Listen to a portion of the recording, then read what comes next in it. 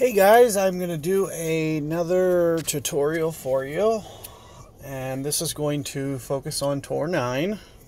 First I'm going to do kind of a stream of Tour 9, talk a little bit about some of the holes that we come across. Uh, next, after that, uh, I'm going to try to do what I did for Tour 6, but since I feel like they just put back the new holes, well the old holes, the old new holes.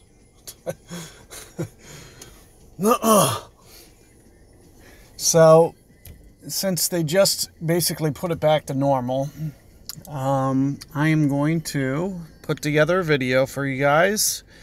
And I want to talk a little bit about the bag. So, for this tour, I'm just trying to think of some of the holes. Probably Milano. I'm going to get a couple Christmases in there. I've, that's what I've been hearing. There's still a couple. Um, think the other one is um,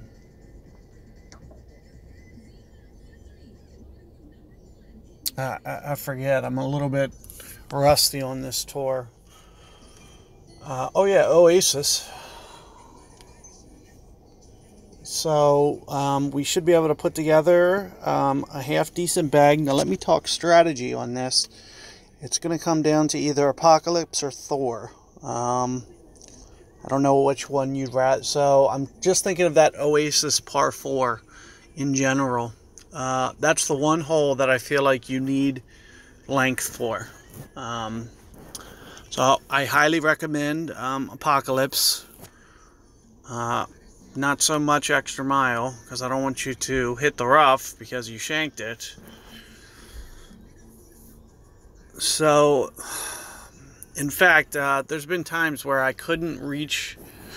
Actually, this is an interesting, uh, interesting fact. Is I've laid up a few times at the end of the first fairway when I couldn't reach there, and I got downwind on the next shot, and I was still able to get to the green. Now it does take getting the wind and probably a Titan ball, but it doesn't put you out of the realm of possibility to lay up into that first fairway on that Oasis par 4.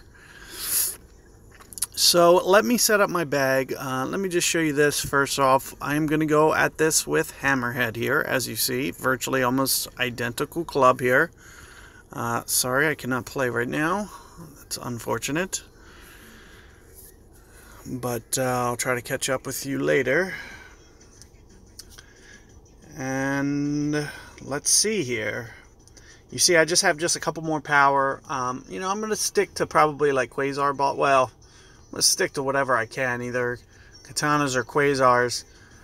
Um, as you see, I'm kind of low on gems right now. I'm trying to save. Um, I'm trying to not buy gems right now. I'm trying to uh, wait until the tournament packages come out and I can get gems that way and just upgrade my balls. But right now, I'm quite low on certain balls, so it's going to come down to probably, you know, a couple Quasars, Katanas, and that's virtually how I'm going to get through this tour in this video. So, I would use Quasars exclusively, but I can't afford, like, I don't, I just don't have the gems right now. I need to wait until I can get that 500 gem package from one of the qualifying offers so I can actually buy, you know, 90 balls and actually start putting out, uh, you know, some quasar shots for you guys. And here we are. I believe I'm going to go with B52. I really don't need um, a lot of backspin in this tour, thankfully, for the most part.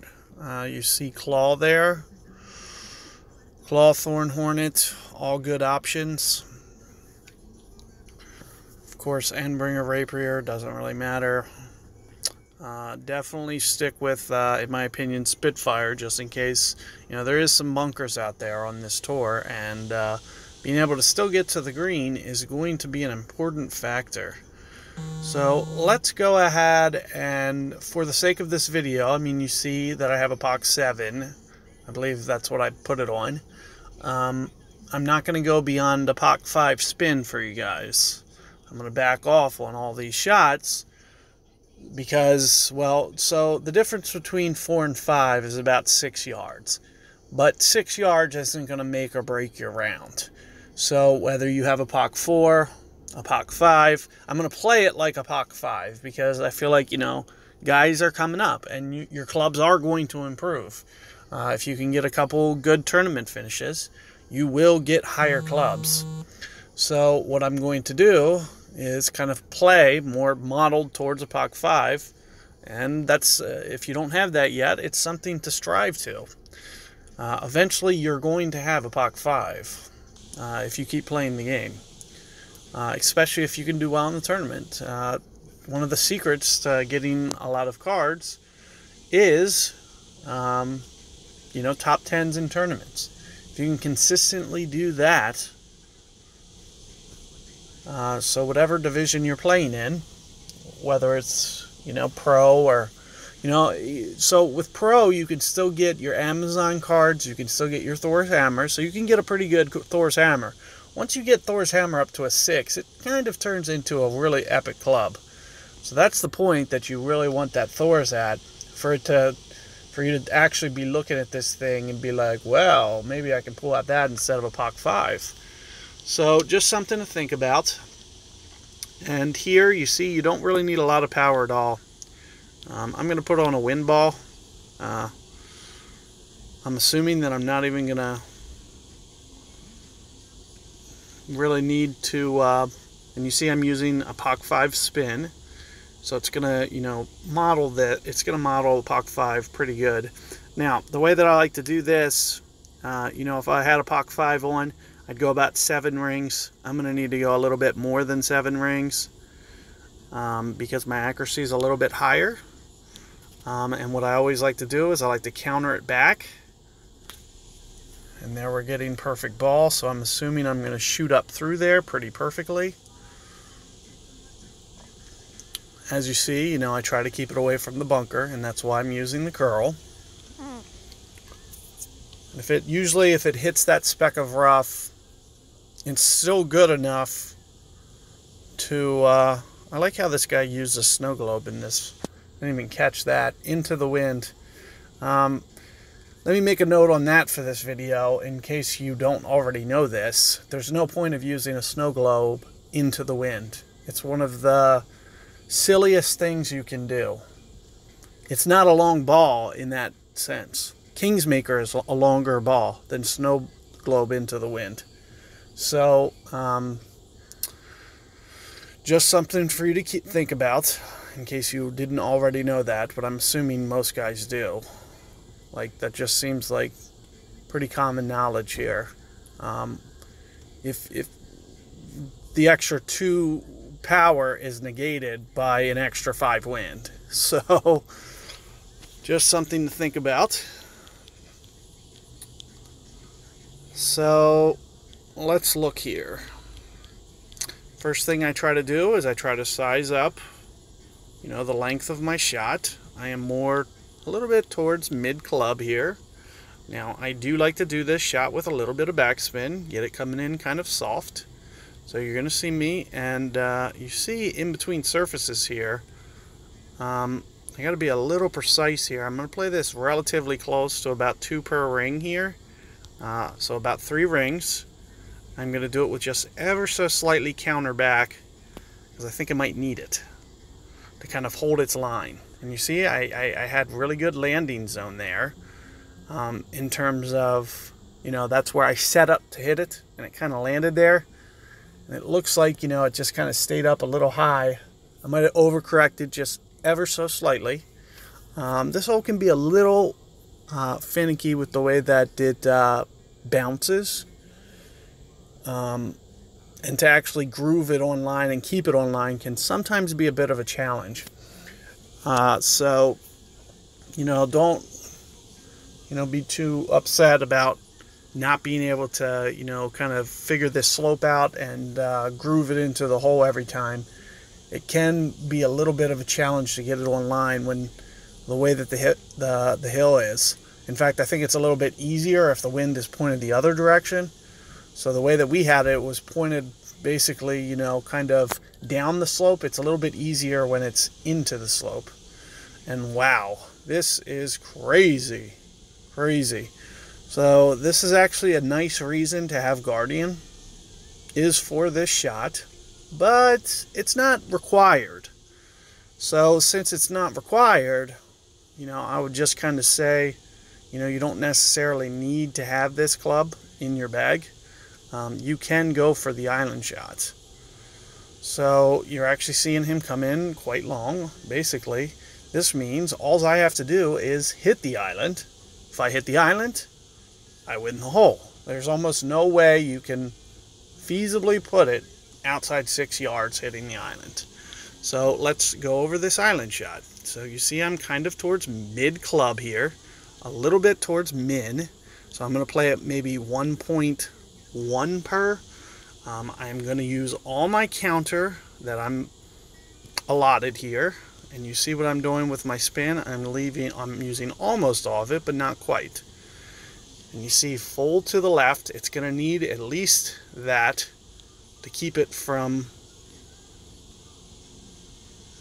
you know, that extra ball trail from taking over.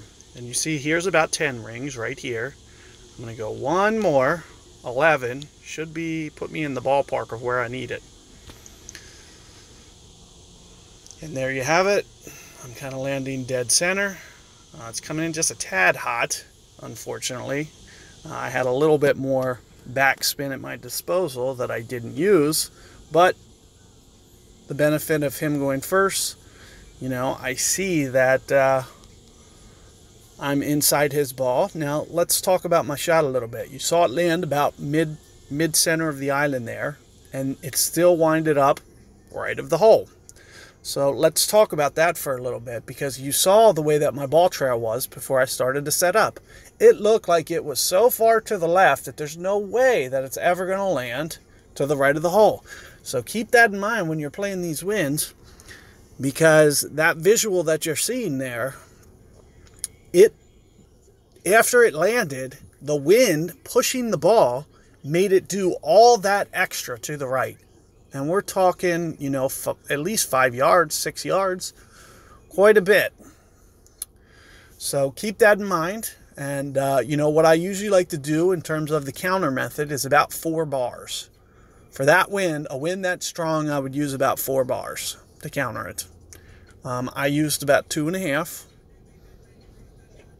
And I think I might ever so slightly kind of just favored the right, the left side on the uh, shot arrow as just kind of a little bit of counter curl, but it was basically negligible. It wasn't very much at all. Um, now, one of the things that I want to talk about here is whether or not to lay up or to uh, go to the other side. Um, you know, under most circumstances, you're going to be able to get to the other side it's kind of a risky shot. For the sake of this tutorial, you know, I don't need to show you how to get to the other side every time. Um, oh, crap. So I'm doing a shot that's, so a POC 5 is 4 bars of backspin, so I'm going to do that. And I'm going to leave a little bit of room for it to run out because there's going to be a little bit more run. And I'll do it with a little bit of curl back to kind of counter that wind effect. And I'm just trying to put it down here somewhere towards the end, um, but not get too aggressive that it goes through. I, I don't need to be super long here. They're going to have to give me the worst two winds in the world for me not to be able to get to the green still. So I just want to keep that, I just want you guys to keep that in mind. Um, if you want to avoid it altogether, um, at you know, no chance of them giving us, you know, two wins where I can't get to the green, you can put a Kingsmaker on. And there's essentially a 0% chance that you're going to get screwed out of it. Now, you, you need to be probably, you know, if they give you a bad enough win, you know, 15, even with a Kingsmaker, you can get pretty high wins in this. Um, I don't know what the cap is, but it might be, you know, at least 15 or 16 miles per, it might be 16 miles per hour. So something for you to think about. Just to make sure that if you're laying up that you're not going to, and look at this. So we're already seeing one of the worst winds starting. So let's talk about how to do this.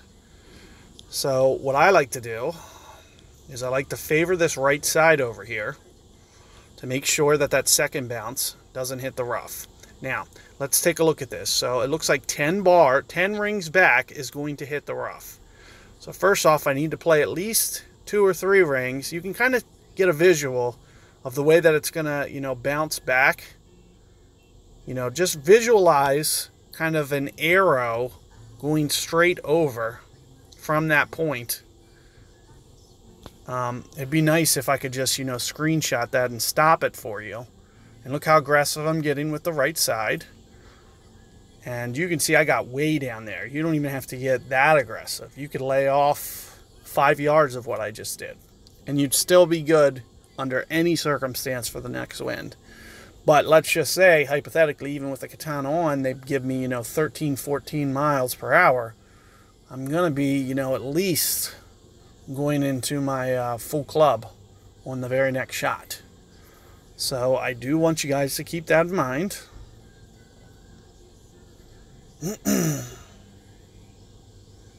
for when you're playing this hole. And uh, you can see when he rotates the screen. Now this gives you a perfect visual. All you had to do is look straight up and it, you know that the ball is going to project at that angle. So you can just visualize, you know, 10, 10 rings. You can only see five of them, but, you know, just think another five rings on top of that. And you see where he just put it there is enough especially with a Titan ball, no matter what, even if they give him, you know, 14, if even if they give us 14 in the face here, which they didn't, he's still going to be good. So let's see, you know, see, look at this. I can still get to here with where I am. Now let's talk about this shot a little bit. Now a little bit towards mid club. Uh, this does play a little bit uphill. I just want you to know that. I don't usually backspin this at all. That's just the way that I prefer to play it. Since it's a little downwind, I'm going to do ever so slightly. Now you can get, there's two bounces that this can come in. One's really hot. Um, I try to land about this spot to try to avoid that really hot one. Um, so you see how I'm kind of, you know, not quite at the midway point. Um, I'm going to go, you know, a little bit shy of uh, five rings here. I'm going to do it with a little bit of counter back just to kind of slow the wind effects down a little bit. And let's see which bounce I get. There it is. And you see it's kind of hopping. It's rolling in there real nice.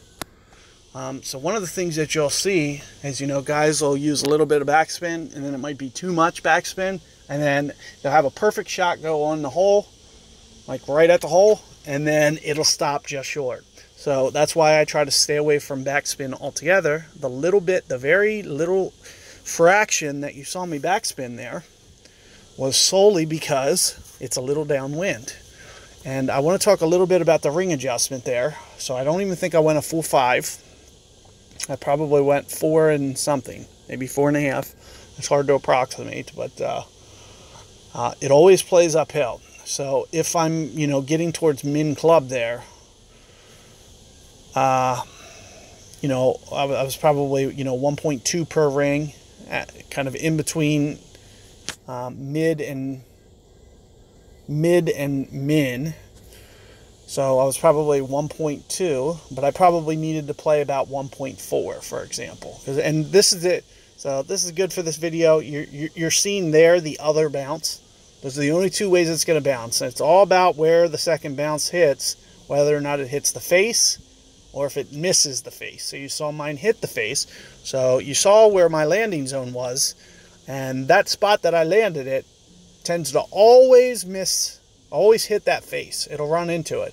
Now, the only exceptions is like super downwind. So if it's super downwind there, I'm still going to aim for that spot, but I might do a backspin and a half, for example. Because I need to make sure that it still hits the face and, you know, that extra tailwind is going to cause it to still hit that same spot and it should still run out.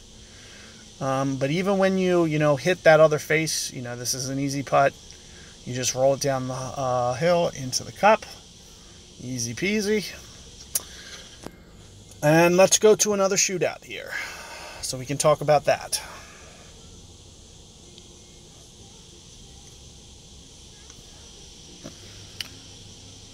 So here we're seeing the Oasis, and this is one of the biggest reasons that I like to have the side spin balls. So look, we're getting towards max here. Um, I, I, I, I, haven't played this in a while. Um, it might be, it might take me, you know, a shot or two here to uh, get this one down. So I think my usual is maybe one backspin. I'm going to do at least two, maybe two and a quarter. I like to land on this right spot here or this left spot. And, uh, you know, I'm going to go the full 10 rings. I want you to know. Um, I'll be a little careful. And uh, I'll do about a half curl shot. I like to give this, you know, some momentum getting over to the left over here. Taking the slope. Here it is. It's coming in pretty nice. It'd be nice if it stopped right on that hill. Didn't quite. But the shot itself, not too bad. 3.63. I'll take it. And like I mentioned before, I think I like usually. And uh, I just want to, you know, this fairway is a little divided. I want to talk about this real fast if I can. Um, this division that you're seeing uh, on that fairway, this this way it seems to bounce straight. When you get on this other half, it seems to bounce kind of like this. And I just want to point this out for you that you know, it's right kind of down the middle of this fairway. And that's why you want to, and there you're seeing it a little bit, um, that it just kind of projects the ball to the right. So that's why I like to favor that left side of this fairway. That left side of the fairway projects it straight. So all I have to do is curl it. And you're seeing him hit that spot too. Now he's coming up and he's going a little bit long. It's not going to come off the hill. I'm going to win the shootout. So just wanted you guys to be aware of that. And, uh, you know, always be thinking, you know, it's downwind. I, I was being, you know, at least 10 or 11 rings there on my adjustment. Plus, I added the extra backspin because it's so much downwind that it's going to change that projection, just like you saw in that crosswind. It's doing the same thing, but instead of with a crosswind, this time it's doing it downwind. So it's going to come in way with way more speed.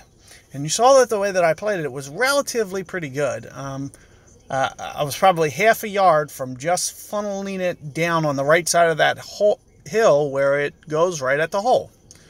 So you see what I try to do there? Uh, I try to hit the left side of the fairway. Now you can play the right side of the fairway, but uh, you need to do it with full curl, usually full side spin. Um, but uh, my suggestion is avoiding the right side of the fairway at all costs on that hole.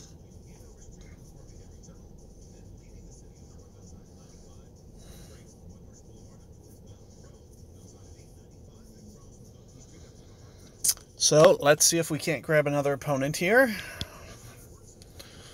And I would try to stream until, you know, maybe like around 5 o'clock. Don't really have a, a timer on this thing to kind of slow me down. Um, now, this is an interesting hole because there's two ways that I like to play this. One, sometimes I like to go to the other side and give myself a chance at reaching this green in two. Um, it's kind of hard to execute. Right now, I don't have the Titans. Um, and you know, I didn't get the most favorable wind. So maybe on this method, I'll just lay up here, I guess. Um, I like to just beat it over no matter what and just try to hop the bunker. Um, if I was playing like myself personally, um, for real, that's kind of what I do. Um, what I'm going to do here, you see about three backspin. I'm just trying to judge, you know, how how much I can get how much you see that six wind but it's kind of pointed. It's probably going to pull at least you know three or two or three rings down. So i'm looking about six rings down just to see how my shot is. Um, and here's two backspin uh, i think i'm going to go at it with two backspin just a tiny bit of power ever so slight. Um, maybe right in there somewhere. Let's just see if this isn't half decent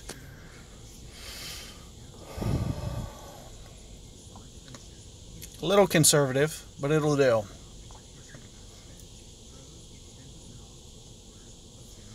I got to get my bearings straight a little bit back on this hole because You know, I'm not I'm not really one of those guys that takes a lot of notes on things, or really any notes. Um, I like going off feel for sure. Uh, you know, it'd be nice to have those notes to where I could just reference it and say, okay, well, this is my typical shot with no wind. Since it's downwind, I'll just take off two rings from that. But uh, yeah, I don't know. I just I just play for fun, so I don't get too, you know, crazy over this game to think about all the you know ways to be the best or whatever. Like none of those are really faults of mine. So let's take a look here.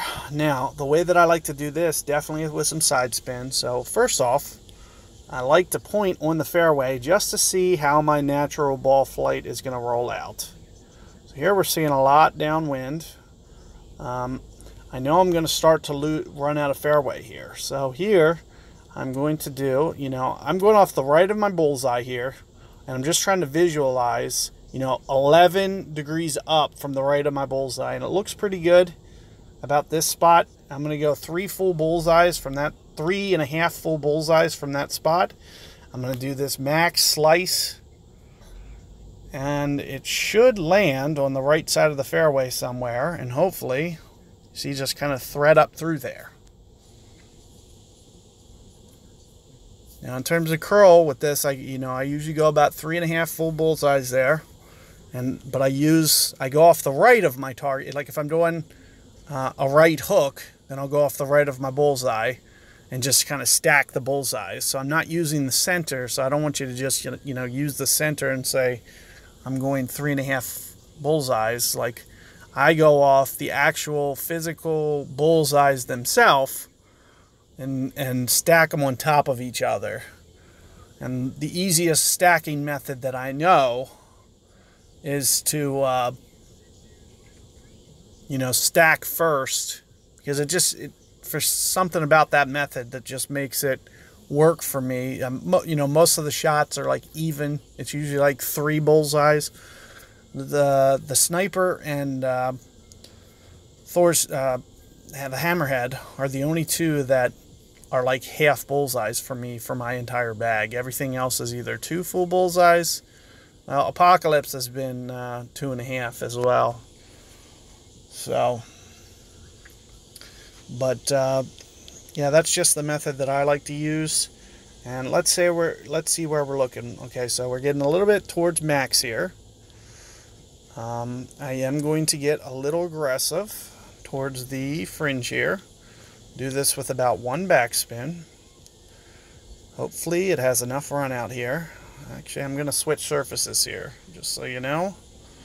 Switch to this surface. It looks like it lines up a little better. Now, I probably want to go about 1.8 per ring. So 5 is going to be 9. So if I go 5, I'm at 9 miles per hour. And then I'll go an extra one, a little bit extra on top of that. And I'll just counter it ever so slightly. Ah, great ball. I have a feeling that I'm going to miss out to the left because of that great ball. And sure enough, I may have held that out with a perfect ball. But I'm not worried about holding it out because I would rather us get to a shootout and hopefully see a different wind and hopefully be able to talk about that a little bit. So we can just kind of dissect this course a little bit since it's been a long time since I've put out content on the original Tour 9. It's, it was only the uh,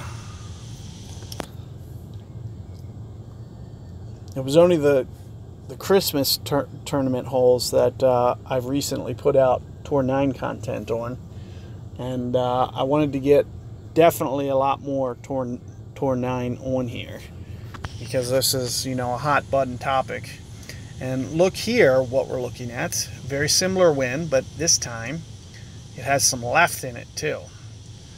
So I want to, you know, just talk about this. So uh, you saw how much I curled last time. uh, I'm not going to curl that much this time. Uh, and you saw that, so here I'm not going to curl like the way that this guy is. So first off, let's, let's kind of see what his landing zone is first off. Okay, so he's kind of using mine. Um, so you saw what I did last time. It was probably like a half curl. I'm going to probably do a quarter curl this time.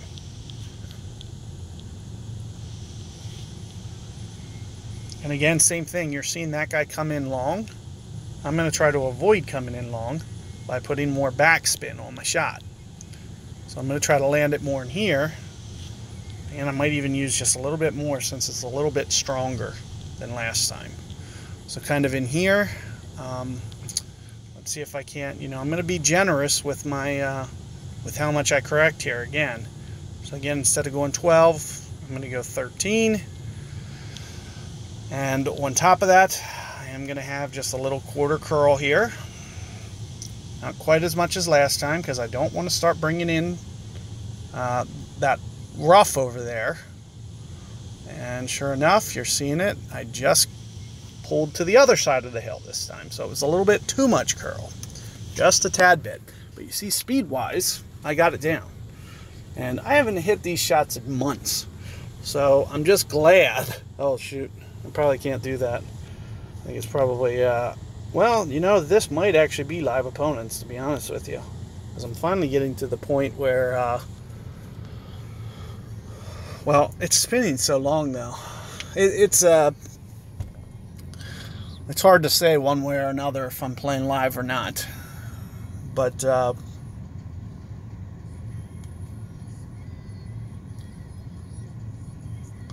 as much as it's spinning, you have to assume that you're playing replays, honestly. But this is the first, you know, I'm whereas 6 I knew it was replays. I'm finally getting to where I could actually potentially be playing guys who actually are in Tour 7 and have, you know, 3 to 5,000 trophies. They could potentially match us. Like it's not out of the realm of impossible. Whereas in Tour 6, like literally a guy around my trophy count has to come in at the same time that I am. And why would they be playing Tour 6? They would probably be playing Tour 11. So.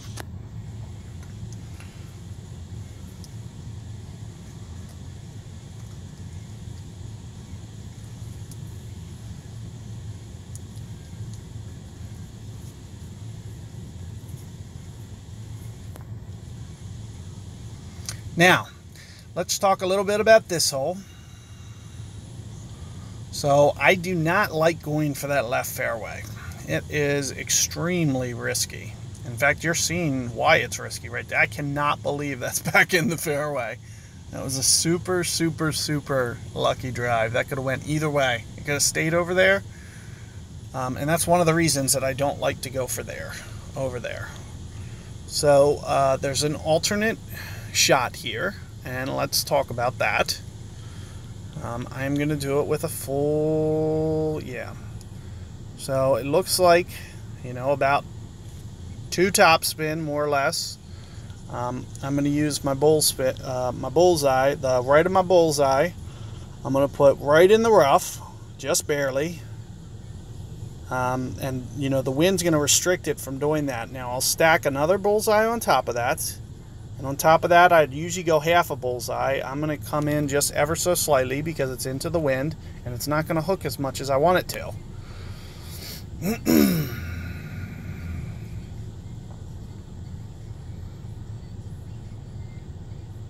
and you're seeing no real threat of the rough doing it this way. Um, I'm right in the middle of the fairway. Didn't didn't start flirting with the uh, right edge there or anything. Um, but I just want to make a little bit of a note there on that slice that I just did.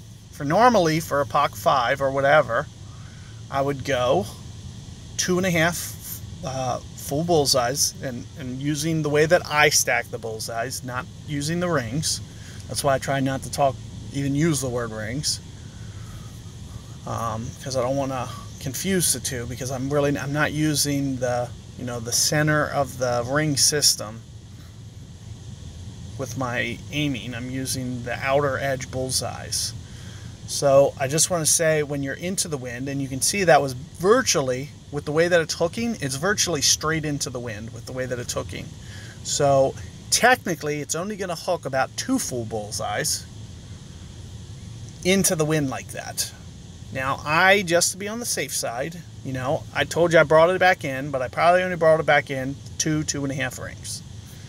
So I was being a little conservative, but as you can see, you know, conservative works. Like I still had at least three or three or so bullseyes that uh, you know before I started running into trouble there. So now let's talk a little bit about this shot. So what I like to do here is kind of bring it in from uh, left to right. You see I'm more towards min club here. Um, so instead of going the usual 10.5, I'll go about 8 rings, more or less. And you see how I'm going to be so far to the right. Oh, crap. I great balled it left. Definitely didn't want to do that. But let's see how it comes in before I get too worried. Up, oh, it's to the right. Okay. So not bad. So you see how much curl I'm putting on it because two reasons. First, I was lining up left of the target. So half of the curl was for that. The other half is the way the wind's pointed. It's kind of like I said, when it's when it's that point pointed that far, it's going to be at least three extra back like side spin bars that you need to counter that minimum. So you're seeing me put a lot of curl on for for those two factors. They're kind of like additive. Like I'm doing half of the half of the curl for that, half because I was aiming to the left. So let's see what we can get in terms of a wind here. Another down, well, I don't think we've had downwind. So downwind, I'm going to jam this thing as, as hard as I can get it to come back. Kind of like you're seeing this guy do. And uh, notice how he has his shot arrow pointed just ever so slightly to the left. So there he's going to, uh, he's going, he went, what? Did he just go 9.6 rings? He just went about 10. I think that's a little overcorrection for, well, he did just great ball it, so that might help it come back a little bit. You're seeing him hit the beginning. That's actually pretty well done overall. Uh, to be able to stop that short of the hole is quite a risky shot because you see how close he had to get to the front there. So let's take a look at mine. I'm going to have to go all the way back to probably min club to get this about right. So first I'm going to get you know, a little bit. I'm going to cheat it a little bit like he did. Um, you know, I, I know it's naturally going to, on its own, kind of work its way back to the right. So I'll probably pull straight back this time. You see how it's already set up just left of the hole. So here, uh, you know, I'm going to go more of the, those eight rings that I was mentioning before. There's, uh, you know, a nice full five. Uh, there's a couple more. There's about eight rings there. Oh, Jesus. What is with me and great balls right now? So there you're seeing I'm hitting the very front and you're seeing it run out. This time it's going to the hole. It's uh, a little bit uh, short again. And like I mentioned, you know, to stop it short of the hole is uh, quite the tricky shot because your uh, kind of bailout is to assume that you're going to do um, uh, kind of more of the middle of the uh, island to, kind of increase the margin of error you can do on the shot. But what you see I'm doing is I'm cheating it back to the front, which kind of narrows that margin. Like you can't go as far left, you can't go as far right, and you can't land short either. Whereas in the middle of the bullseye, you have a high tolerance in all those directions, every direction north, south, east, and west. From the center of the bullseye, uh, from the center of that island, is the smartest way to play it. all the time as a normal shot because your tolerance for error is at its hot greatest point. And when we pull back towards the front of that bullseye, that error tolerance starts to decrease in every direction except north. That's the only directions where the uh, error tolerance there increases. So, um, you know, that might have a tendency to make you land it long towards the center of the bullseye. If you land it at the center of the bullseye, you're not stopping it short of the hole. So keep that in mind. Um, let's see if we can't do this. I haven't done this hole in quite a while either. So, you know, I have a feeling that if you eagle this sucker, you're going to win a lot in Tour 9. That's just kind of my guess. Um, and again, this could be a live opponent. It could be a replay. Uh, not really sure. I wasn't really paying attention to how long it was spinning, but you see a guest come in around my trophy count. It can be either. It can literally be either. And you're seeing him just hop that bunker. Pretty fortunate break there. You never want to cheat it like that, especially downwind. I mean, lots of games played. Uh, I think I usually use a little bit of topspin on this, and of course I usually always create the momentum over to the left to make sure I can kind of groove that other fairway. Um, and you know, I might land a little bit more aggressive, and here I'm going to counter it because of the way that the wind's pointed. And here, as you're seeing, you know, I feel like I can go relatively full here and I'm probably going to, uh, you know, counter that wind like I was mentioning, just kind of in this direction.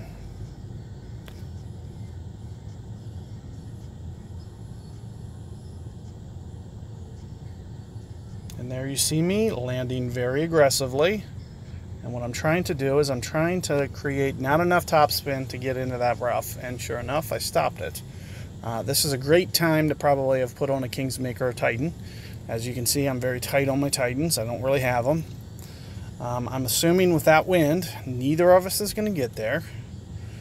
Um, you can get there. It just probably has to be an absolute perfect shot. It has to roll up through that left rough, cut through the two bunkers, and not go in either of them. And it slopes to the left, so it likes to go in that left one. But the fairway tends to have weird bounces on its own. So it's like a little crown. If you land in certain spots, it'll shoot the ball left. If you land on the other side, it shoots the ball right towards the center bunker. So very, very challenging shot that they put together here. This has got to be, um, especially when we're talking winds like this, um, one of the most challenging shots in the game today. So, you know, I don't put a lot of faith in you know, executing this right. This is kind of, you know, what I'm talking about here. And I'm probably landing it right in the spot where it's going to go towards this other bunker. You have to thread in between there just perfectly. And I'm assuming, you know, more times than not, they're probably going to, unless the wind's super favorable, they're probably going to match you up with replays where birdie will get you to the shootout. But if you're actually playing replays. Um, maybe not. But, uh, and again, I, I'm not really too sure if this is live. I wasn't really paying attention to how long it was spinning, so no real indicator that I can give. What was that?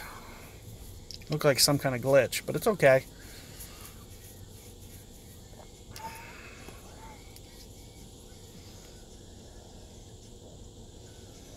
So, let's talk a little bit about this pitch.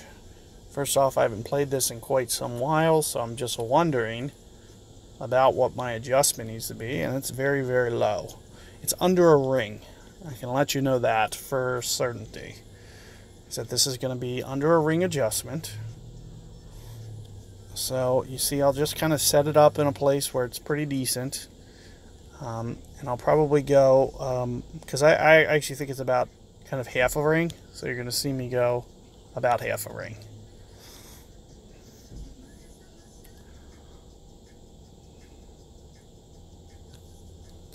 And now we're seeing perfect ball. Now this is very hard to actually get it to roll out good.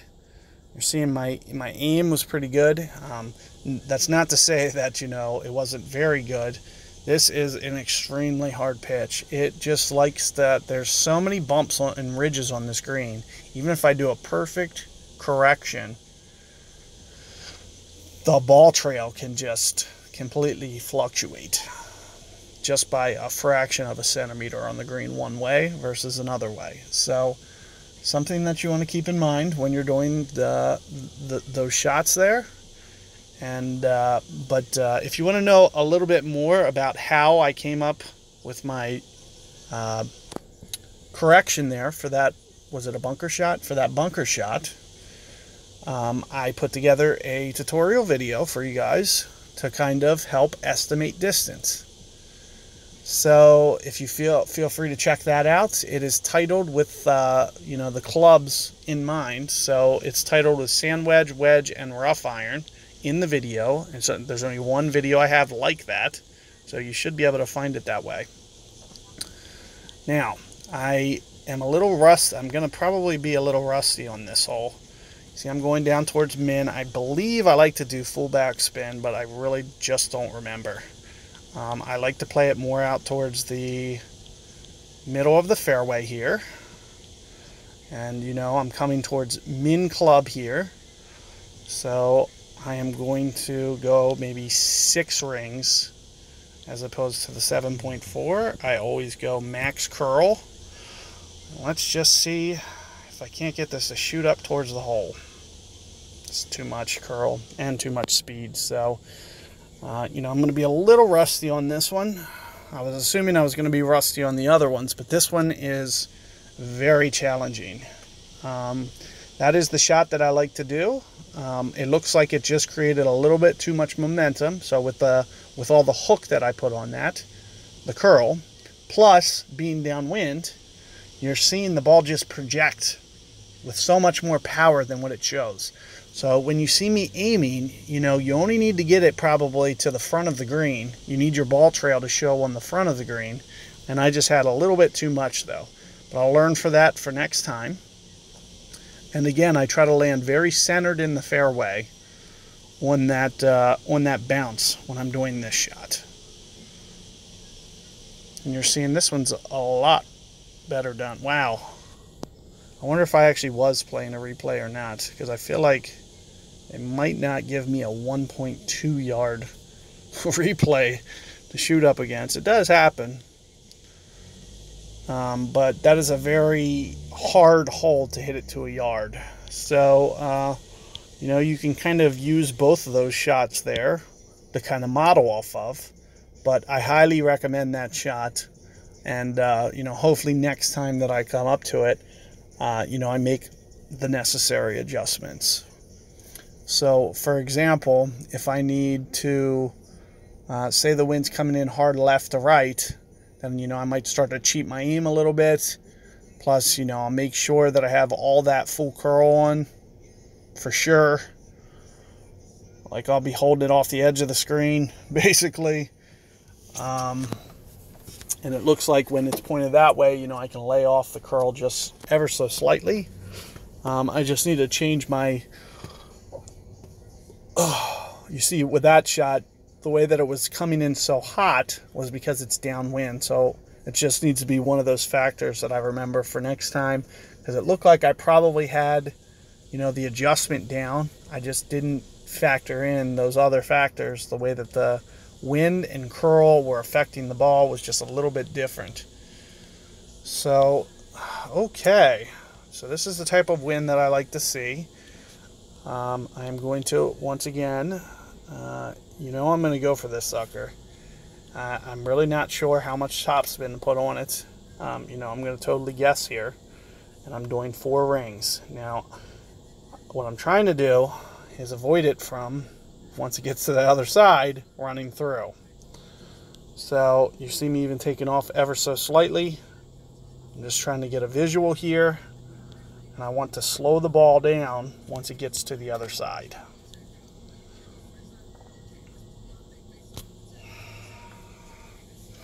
And another thing that I like to do is I like to cheat it over here to the left here. You see me kind of playing the left side of this fairway. Slow down, slow down, slow down. Too much. The reason that I like to do this is because it optimizes the amount that I can hook it on the second shot.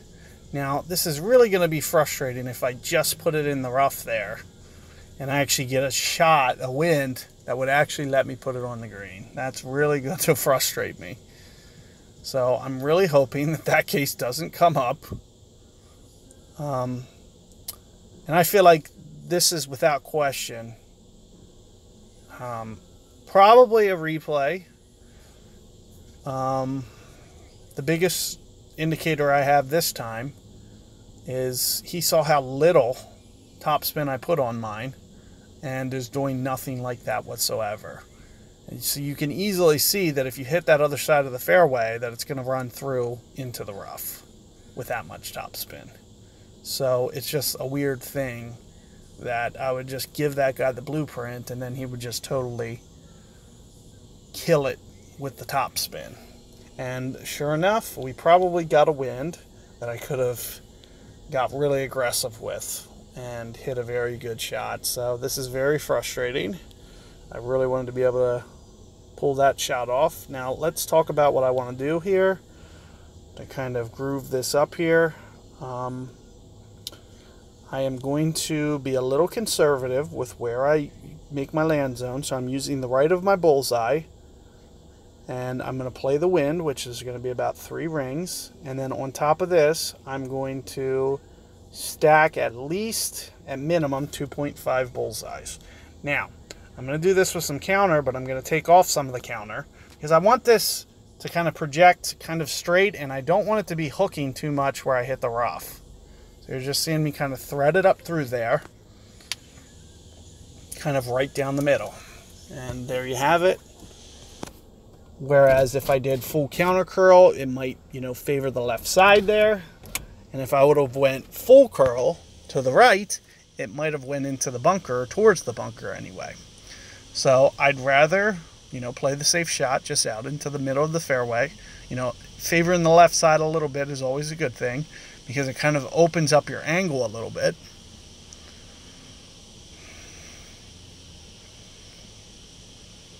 And as you see, both of these shots well done.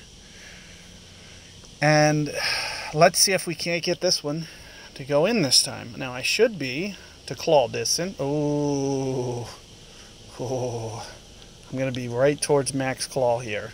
Now, I would usually do at least one full backspin here, maybe two and a quarter, or up to two.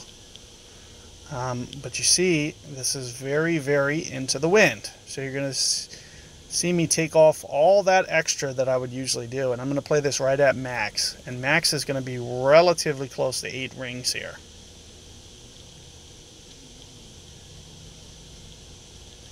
And you see I am going into power. There's my eight rings. On top of that, I'm going to counter it because of how much that wind is pointing to the left.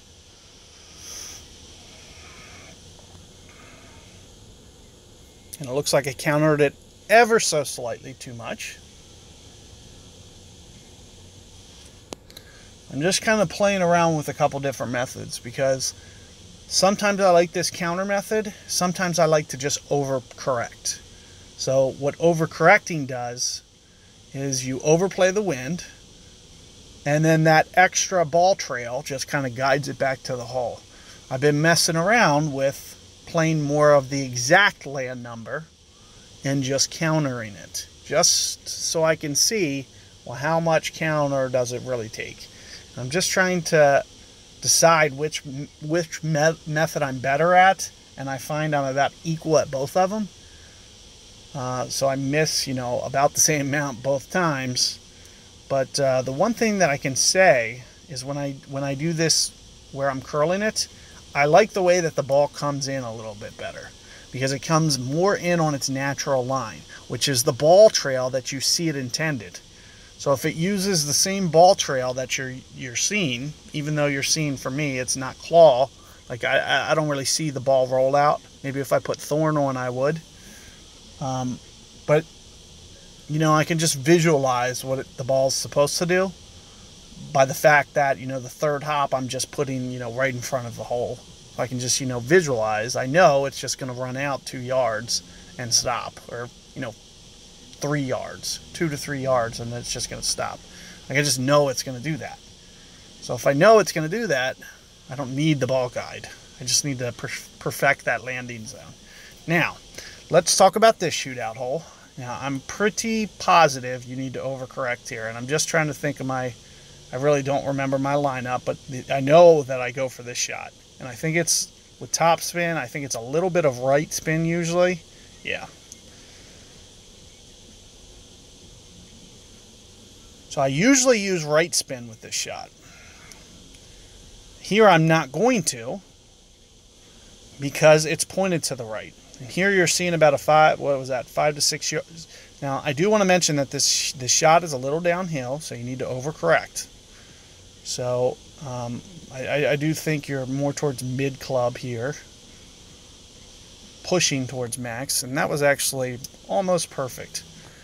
Um, now he almost hit the fair. He almost hit the uh, the rough there, or he almost hit the the green. And this is kind of you know what I kind of expect is to you know have to kind of shoot my ass off a little bit here to uh, to beat replays. So you're gonna see me do more or less you know kind of same thing. Now you see how I'm grooved in here, and it's just kind of shooting towards the hole. So I'm going to try to use that to my advantage. Now I am probably going to go, since it is, like I mentioned, you know, a downhill shot, I'm going to go those six rings. So make sure I go those six rings. On top of that, I'm just going to ever so slightly curl it back to take more of that natural shape that you're seeing it already. Ah! So six rings isn't enough. Obviously, you know, you need to go, since it is downhill, now, I was thinking since I'm more towards min club, uh, mid club, but I might actually be a little bit towards max club there. So you're seeing me launch that a little bit far. Of course, I can open this. So it looks like you're going to want at least an extra ring adjustment.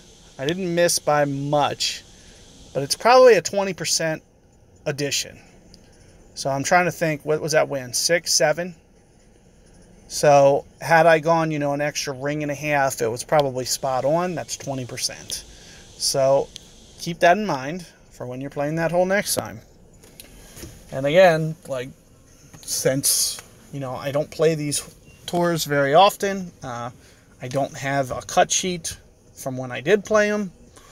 Uh, there's always a little bit of getting back into it before I can actually execute some of these shots. So, but you can see what I did. You can see the mistake I made.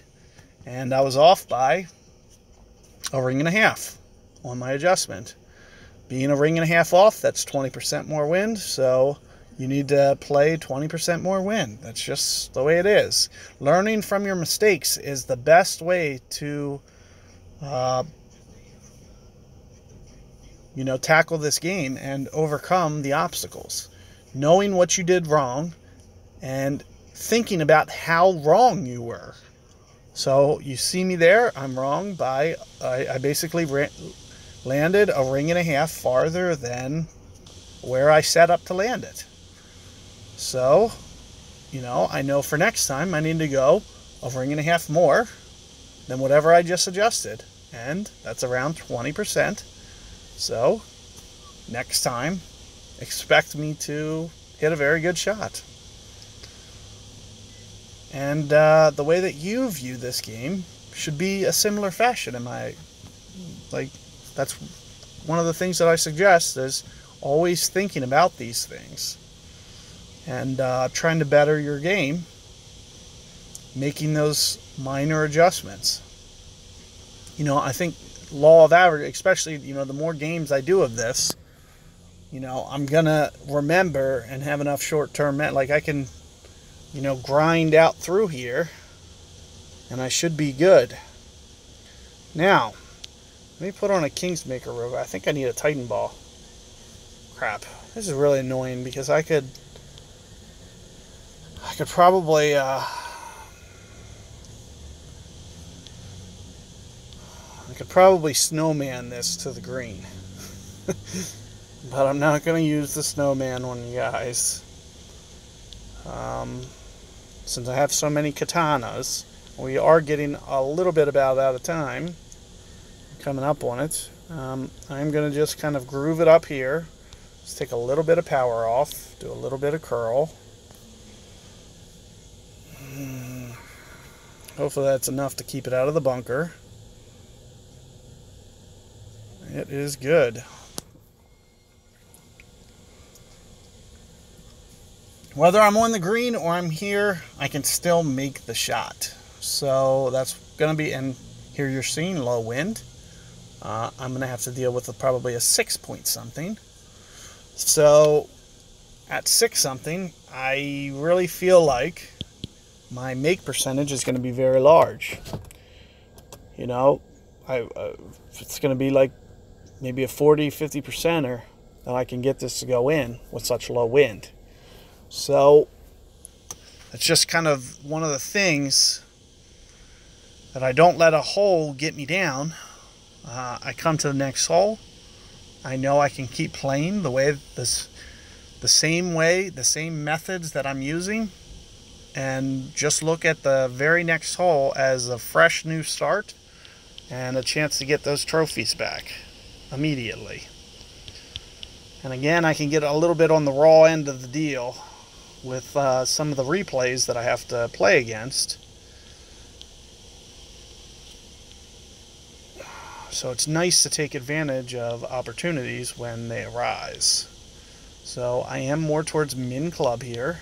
Let me see how it's almost right at min, which is right around three per ring. A little in on that. I am going to go at least two rings here. So shade more.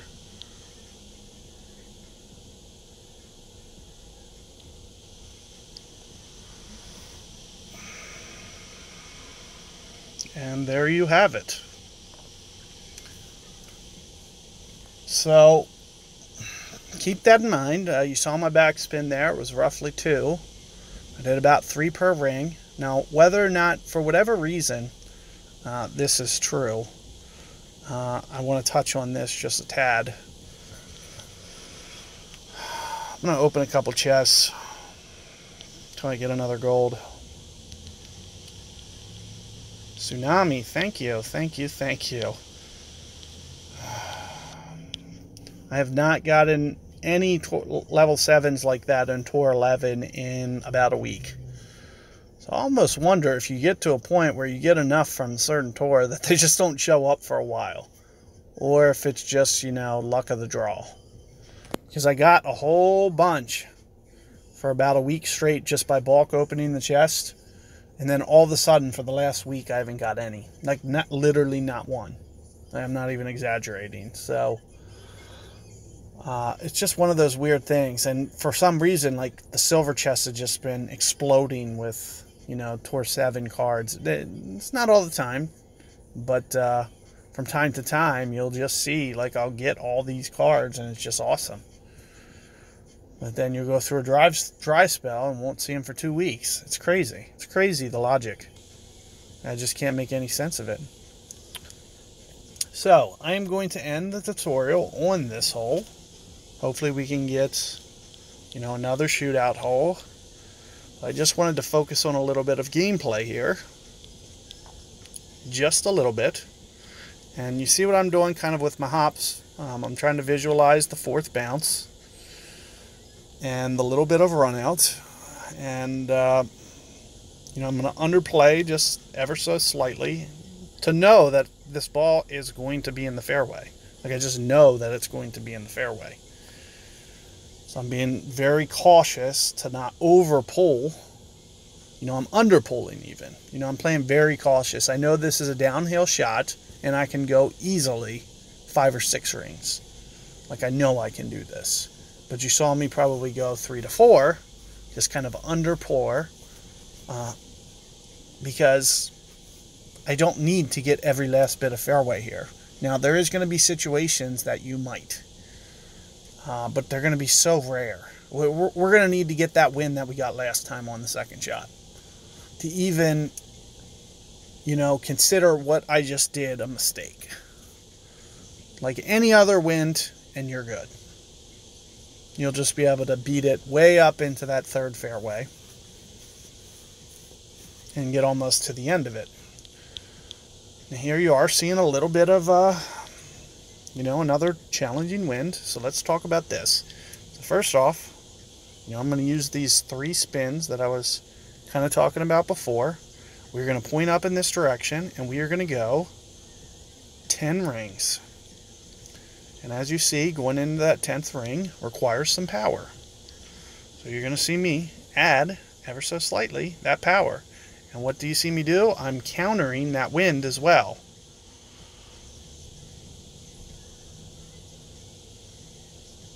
Oh boy. Got a little aggressive, a little overzealous with how much I was countering. Um, plus I shanked it left. So you see I was getting very close there. So I do recommend countering it but maybe just be a little bit more cautious because you did see that I was kind of staying away from the right rough, but you want to make sure that that second bounce doesn't hit the right rough. Let's just say, for instance, I tap that right rough on my second bounce.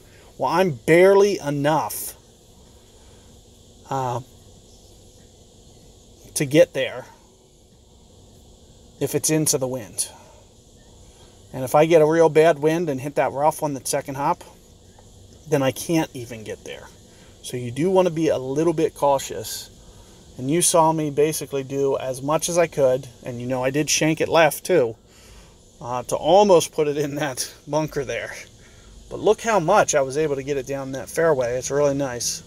Let's talk about this again, because you know I'm more towards, and there you're seeing that other bounce that I say I try to avoid. So what I try to do is I try to land it a little bit short of that you see right into this fringe. You need to avoid hitting the green on your second hop. And again, I'm not going to do any backspin. Now, let's talk about this correction. So at mid club, I'm going to play it more like min club, maybe even a little bit less. So I'm not even going to go five rings, which would be 1.3 per ring. I'm going to go even less than five rings. So that's the first thing I want to mention. Next thing I want to mention is I might just try to counter it ever so... Ah, Of course I hit a great ball. Why wouldn't I? So again, make sure that that second bounce hits the fringe. And sure enough, there you're seeing it to the right. I shanked it right.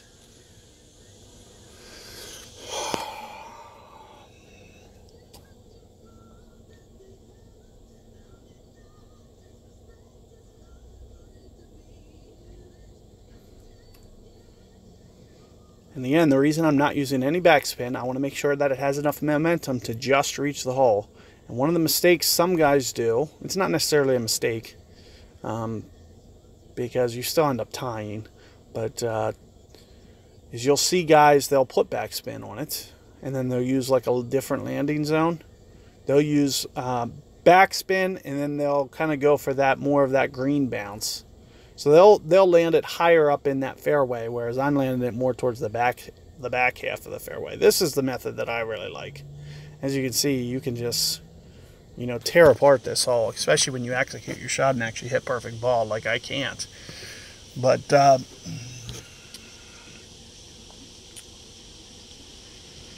let's go to the par three shootout. And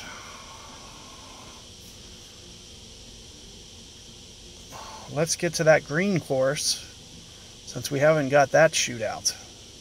Well, either that or we could do another one of the haunted haunted shots. I'd be okay with that. I wonder if it has any of the Christmas par threes. Probably not. This is funny because I haven't actually seen. I heard so many guys say that they were getting Christmas shootouts, or not shootouts, but holes, and I haven't seen one yet. So that's interesting course we get this hole again. Oh, this is a dead giveaway. Okay, so you saw he was already on the spin, even though he hadn't applied it, and it hasn't even gotten to a shot. This is an obvious replay. Now, you're seeing very similar wind. than, than we saw last time. So remember what I said uh, that I did last time. Uh, you know, I played at least 10% extra wind here. So you're seeing a 10 mile per hour. So if you would, with your Goliath, whatever, I don't know what your accuracies are, what clubs you're using, um, but I do about 10% more. So mine's at 100% accuracy. And there you're seeing an underplay. Should be a relatively easy shot to, to win. Um, you know, there's a couple approaches. You could just go for the win and just, you know, just hit kind of a ridiculous shot to just take it from them. Or you can still play the shot, um, which I'm going to go for the second method. And again, since it's downwind, I'm going to play more of the the two the two backspin that you saw me do on the first one. I'm going to do more or less that. Um, but the same thing that I was just mentioning before with my corrections. So there's 10. Now I'm going to go be a little on the cautious side. Uh, a little bit of curl. There we're landing our spot. We're taking the hill. And we just missed it again on that. So I can't quite groove that hill to where it comes down and shoots down towards the hole. But you saw me do three really good shots on this. So I like your guys' odds. Um, like I said, um, if you get a headwind, take off some of that backspin that you see me putting on. Uh, you don't need it to be, uh, you know, two. You can even, if it's straight into the wind, you can use zero. Okay?